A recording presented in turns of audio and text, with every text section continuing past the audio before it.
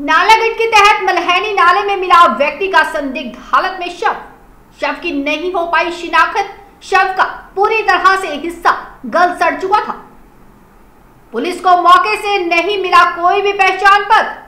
करीब 25 दिन पुरानी बताई जा रही डेड बॉडी। पुलिस ने शव को कब्जे में लेकर मामला दर्ज कर जाँच की शुरू। उपमंडल नालागढ़ की ग्राम पंचायत मलहनी में स्थित नाले में एक अज्ञात व्यक्ति का शव संदिग्ध परिस्थितियों में बरामद हुआ। पुलिस ने शव को कब्जे में लेकर नालागढ़ के अस्पताल में जमा करवा दिया है। अब पुलिस व्यक्ति की शिनाख्त में जुटी हुई है। पुलिस बहत्तर घंटे तक शव को नालागढ़ अस्पताल में रखेगी, जिसके बाद पोस्टमार्टम के लिए आईजीएमसी शिमला भेजा जाएगा। जानकारी के अनुसार एक व्यक्ति ने पुलिस को सूचना दी कि नाले से बदबू आ रही थी। सूचना मिलते ही थाना प्रभारी नालागढ़ कुलदीप शर्मा अपनी टीम के साथ मौके पर पहुँचे और शव को कब्जे में लिया। लेकिन बॉडी के पास से कोई भी पहचान पत्र नहीं मिल पाया। पुलिस के मुताबिक शव करीब 25 दिन पुराना लग रहा है, जिसका ऊपरी हिस्सा कंकाल बन चुका था। सिर्फ़ निचला हिस्सा ही बचा हुआ था थाना प्रभारी कुलदीप शर्मा का कहना है कि सूचना मिली थी कि नाले में एक व्यक्ति का शव मिला। अज्ञात व्यक्ति का शव पूरी तरह से गल सड़ चुका था। उन्होंने बताया कि शव को पोस्टमार्टम के लिए आईजीएमसी शिमला भेजा जाएगा। उन्होंने कहा कि पुलिस ने मामला दर्ज करके आगामी जाँच शुरू कर दी है। पुलिस ने सूचना कर लापता लोगों की सूची करवाई जा रही है और सबकी शिनाख्त की कोशिश की जा रही है।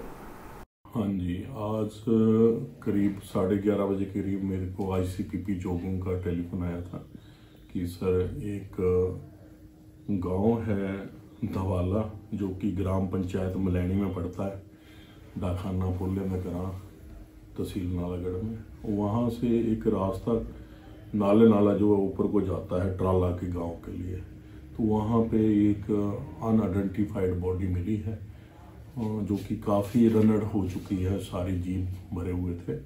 और वो ऐसा लगा है कि उसकी उम्र जो है, आईडीए से फ्रांसिस वाले मैंने कॉल किया, डॉक्टर नरेश जी मेरे साथ गए थे। वहाँ जाके सारे हमने सीन ऑफ़ क्राइम पे देखा। तो ऐसा मुतीत हुआ कि ये जो है, पचपन से लेकर साठ साल की बॉडीज हैं।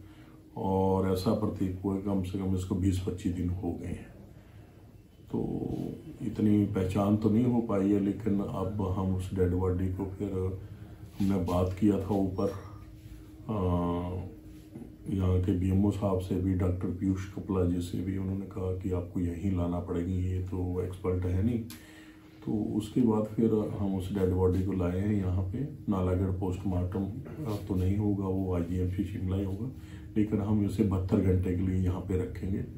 और एक ओगन क्राइस में मैसेज देंगे सभी को यहाँ जो नज़दीक जितने भी थाने हैं उनमें कि अगर किसी की मिसिंग है या इसके जो कपड़े हैं उसकी हम एक फ़ोटो आपके माध्यम से भी देंगे कि जो भी किसी परिवार का कोई व्यक्ति इस आ, कपड़ों से अगर पहचाना जाता है या मिसिंग है तो वो आके देखे और पहचान कर ले।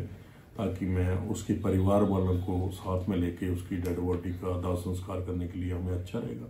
अगर नहीं होगा तो फिर हम इसको बॉडी को बॉडी को जो है आईजीएमसी शिमला में जाके पोस्टमार्टम करा के उसका दाह संस्कार करेंगे।